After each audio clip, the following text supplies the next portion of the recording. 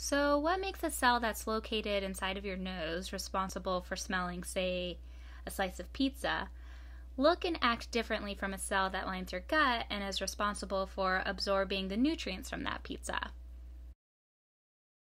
They have the exact same DNA, so the differences can't be attributed to that fact alone. The answer actually lies in the expression of that DNA, which genes are actively transcribed and which ones aren't. And there are several ways in which gene regulation occurs at the level of transcription, and so we're going to be talking about the main ones here. Now, let's draw out a hypothetical gene here, and associated with this gene is a sequence upstream, so towards the 3' region of the antisense strand, also called the template strand. And this sequence is called the promoter. And there's another sequence in between the promoter and the gene called the operator. The operator is the sequence of DNA to which a transcription factor protein can bind, and the promoter is the sequence of DNA to which the RNA polymerase binds to start transcription. Now, first off, in prokaryotes, we have what are called general transcription factors, which are a class of proteins that bind to specific sites on DNA to activate transcription general transcription factors plus RNA polymerase and another protein complex called the mediator multiple protein complex constitute the basic transcriptional apparatus, which positions RNA polymerase right at the start of a protein coding sequence or gene and then releases the polymerase to transcribe the messenger RNA from that DNA template.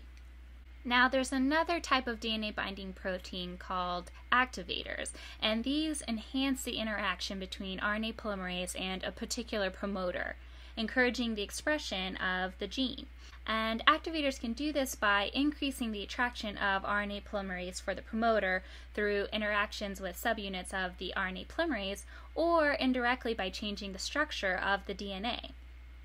An example of an activator is the catabolite activator protein, or CAP. And this protein activates transcription of the lac operon in E. coli. In the case of the lac operon in E. coli, cyclic adenosine monophosphate, or CAMP, is produced during glucose starvation.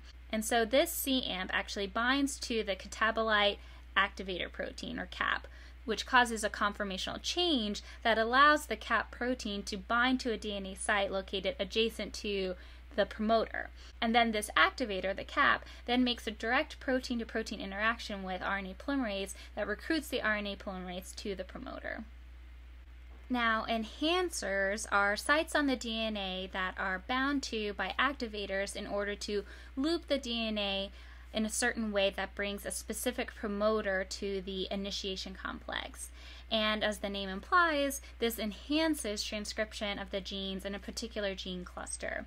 And while enhancers are usually what are called cis acting, cis meaning the same or acting on the same chromosome.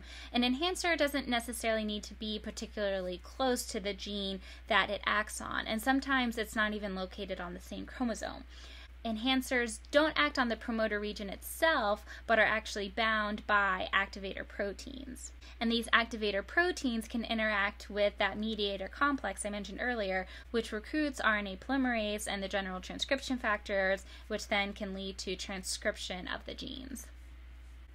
So here I've drawn a little schematic of what it might look like to have the enhancer actually change the structure of the DNA so that the DNA is now looping around. Here you still have your promoter sequence, the operator sequence, the gene sequence, and the enhancer sequence, and having the DNA looped in such a way so that you could then recruit RNA polymerase, the transcription factors, the mediator protein complex, and then you have transcription begin of this gene here.